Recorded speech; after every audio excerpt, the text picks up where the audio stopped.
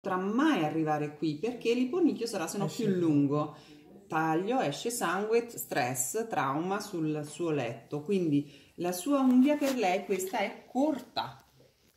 Ok, sì. Noi la vediamo lunga, ma lei perché ha un letto importante, quindi è corta, rispettando le sue proporzioni. Mm? Quindi lei qui è onicofagica. Ok. Due in uno. Ok? Cosa voglio dire? Che que- posso avere la tua? È uguale alla sua. Sì.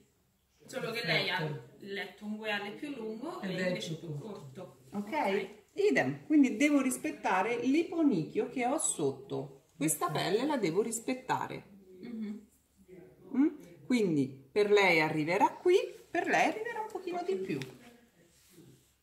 Ok? Ma il bordo libero lo devo sempre avere fuori. Di protezione per questa zona dell'iponicchio, se no parliamo di onicofagia o di traumi importanti come ha preso lei. Ok? Poi a Martina chiederò il tipo di lavoro e l'ho chiesto, quindi già mi va a sottoporre comunque mm, uno stress continuo alle mani, però ce l'ha anche in bella vista, quindi per me potrebbe essere anche un'ottima pubblicità e quindi gliele dovrò fare perfette, ok? La dovrò educare a portare delle unghie perfette. E, porti sempre semipermanenti o hai fatto ricostruzioni? Anche ricostruzioni. Ok, come ti sei trovata con la ricostruzione? Benissimo. Mm. Acrilico però. Acrilico, Acrilico. sì. Perché hai scelto acrilico? Perché ti piaceva o perché... Eh, no, inizialmente facevo il gel, poi ho cambiato con l'acrilico perché il gel mi si crepava facilmente, mi resisteva poco. Il fatto sì. Ok, quindi verificare il tipo di lavoro. Un lavoro dove il trauma è continuo, quindi ho bisogno di uno strong. du- dura. Ok, quindi l'acrilico in questo mm, modo segue un pochino di più il suo, eh, il suo lavoro. Ok, sei sposata, hai figli? No? accertarsi anche di questo, più che altro per le lunghezze. Perché già una mano posso dire- Ma potrebbe dare sì, sì. E ve lo posso vai assicurare. in stress, vai in stress. Io sono ok? passata da una square bella puntita a delle rotondità molto Sì, anch'io. che con le bambine piccole non te lo puoi permettere. No, ah, le sfregi. Grazie. Sì, Ok. No, a parte che vai in ansia proprio, cioè Io sempre sì. Io anche col cagnolino, scusate, Sì, sì. parentesi, lo prendo in braccio. Au, au, guarda così. No, no, è vero, comunque c'è da fare attenzione. Sì. Ok, anche se la sua tipologia di unghie, analizzando, è abbastanza striata. Le striature normalmente leggere, così superficiali, stanno un po'. Io adesso sto analizzando queste due, ma le dovrei analizzare tutte. Sono leggermente ehm, sindrome di alimentazione non adeguata. Vuol dire che non mangia i nutrienti giusti di cui lei ha di bisogno e quindi si denota e si manifestano naturalmente sulla lamina con queste piccole striature. Se noi le andiamo a vedere, gran parte di noi avranno queste striature superficiali perché l'alimentazione eh, chi più chi meno ma ce le abbiamo tutte con eh, i nutrienti sbagliati e quindi dovremmo lavorarci un pochino di più. Però non, non ci interessa dare un consiglio di tipo alimentare eccetera. A noi eh, serve lavorare e eliminare il problema. Se fa la ricostruzione mm, preparazione, allungamento e non si vede. Se fa la manicure, cosa succede? Che se io non vado a levigare queste piccole striature, lo smalto poi mi verrà un po' striato. Ok? Alcune volte le possiamo trovare in verticale, alcune volte le possiamo trovare in orizzontale, quindi le dovrò un pochino levigare ed ecco qui che la 2,40 La un 2,40, pochino è importante. Mm? Ok?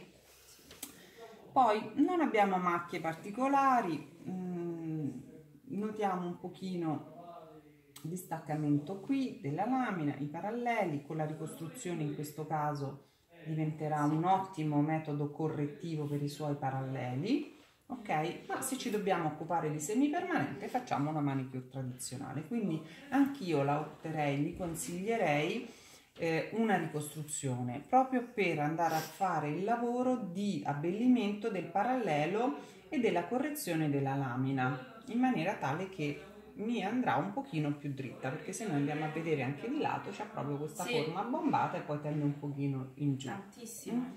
se la mia, mia cliente vuole, se la mia cliente dice no, voglio lavorare solo con il semipermanente, la mano è da semipermanente, perfetta. Ok? Quindi non voglio ricostruzione, non voglio un peso, un peso maggiore sulla lamina, eccetera. ben vengano tutte unghie così curate. Ok, per i semipermanenti. Il mio obiettivo in questo caso è rieducare un pochino lei e portarla naturalmente sullo stesso livello. È ovvio che le altre, come abbiamo visto, non le possiamo fare così corte, però un pochino più corte le dobbiamo fare perché lei eh, è molto corta. Mm?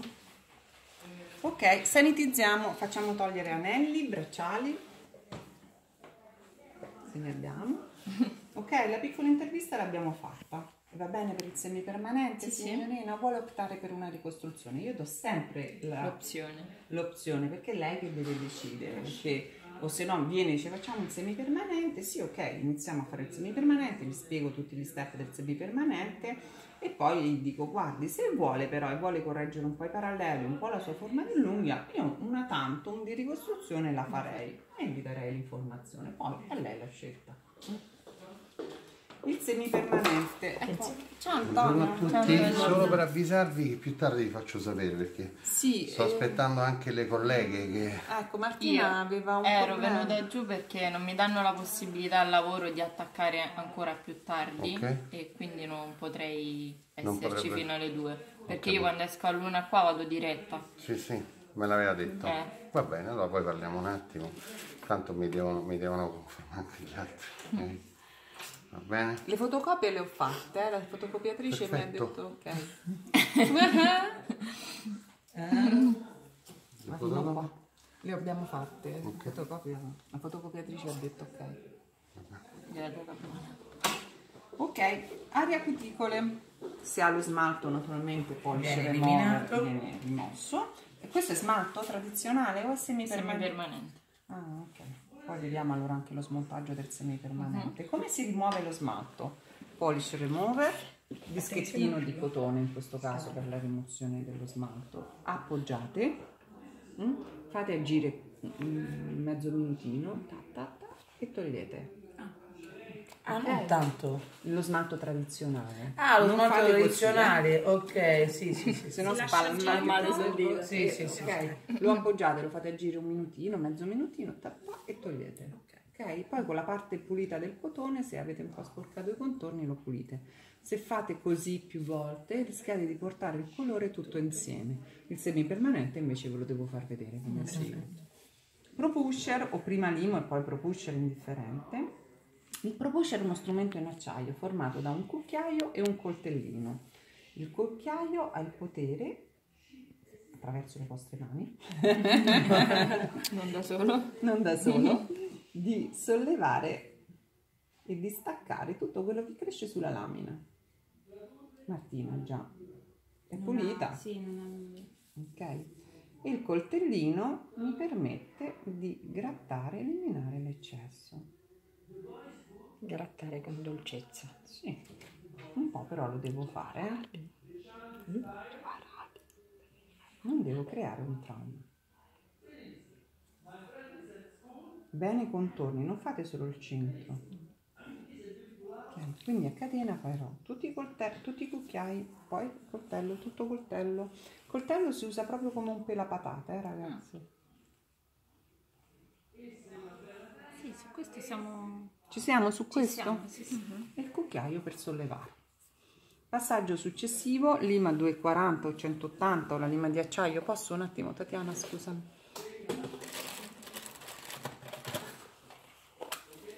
L'acciaio. Ok, questa Poi Ah, quella di... che si può, diamante, Diamante. poi si può spazzolare, eh, disinfettare e sterilizzare. Ok? Con questa in un solo senso, l'impugnatura è così, però lo stesso posso fare con la 180 o lo stesso con la 240 se l'unghia è più morbida. Nel suo caso è bella spessa, quindi la 180 ci Va sta. bene. Mm? Mantengo la forma, va bene? Martina? L'accorcio solo leggermente. Quindi in un solo senso tenete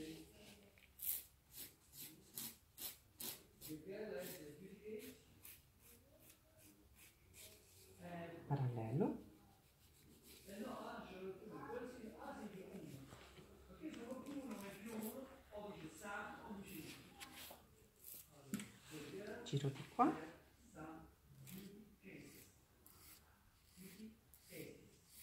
Ok questo mi permette di andare perfettamente dritta nei suoi paralleli.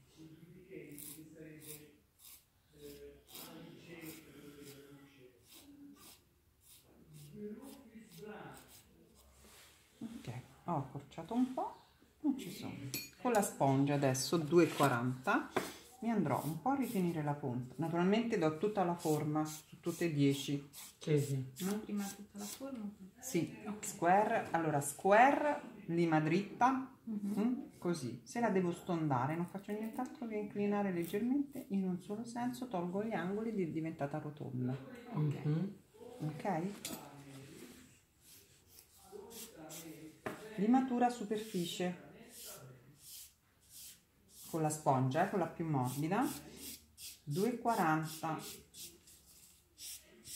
Mi faccio tutto il giro, il contorno delle cuticole con la forma a ventaglio, l'impugnatura a ventaglio, l'impugnatura a sigaretta e l'impugnatura con l'indice dietro. Mhm. E poi a sigaretta un po' tutta la superficie, sempre in un solo senso e sempre al centro, direzione centro. Se faccio così non succede niente. Ok, stop. Questo su tutte e 10. Passaggio successivo, spazzolo, dall'aria cuticola verso il volto libero. Vedete la polvere che ho generato, quindi rimuovo bene. Andrò a passare un pochino di swipe. O con lo spazzolino o in questo caso con un dischetto di carta. Mm, ma no cotone. Pulisco, pulisco. Fatto questo su tutti e 10, faccio una piccola verifica se l'unghia graffia. Di solito gliela faccio provare. Puoi provare qui un attimo? Ecco, ok, non lascia i segni. Se lascia il segno bianco, niente Andiamo un panico. Perfezionare. sotto fate così, gli fate fare un po' la gattina, Ah. dico io, mm? in modo tale che non gli lascia il segno e non graffia. Ok, se no lei sta tutto il giorno con questa sensazione di questo segno che graffia. Ok? È pronta, opaca, disidratata, pulita, disinfettata. Vado allo step successivo. Proteico, Protein Bond, è un ottimizzatore di adesione, non acido, eh? quindi è un protettivo delle unghie, serve a dare nutrimento e protezione. Per la ricostruzione, quindi quando devo fare l'estensione, è fondamentale usarlo su tutta la superficie anche due volte. Quando faccio il semipermanente è facoltativo usarlo, o anche quando faccio l'applicazione dello smalto tradizionale, facoltativo farlo e se lo faccio solo sul bordo libero, che è la parte dove il semipermanente si può sbeccare un pochino di più. Mm? Se va a finire sulla pelle non vi dovete preoccupare. Se ho problemi che invece eh, il semipermanente non gli tiene, nel suo caso ha delle unghie striate, quindi non ho di questi problemi. Però se è un'unghia molto grassa magari la potete anche passare su tutta la lamina e nessuno ve lo impedisce. Cosa succede? Se io su di lei lo passo su tutta la lamina, poi lo smontaggio tra 20 giorni mi rimarrà un po' più difficile. Difficile. Ok? Noi ci fermiamo qua per il momento. ok. Vediamo la preparazione e poi andiamo con l'applicazione del color. Ok. Ok. Ok? Prego, manicure asciutta.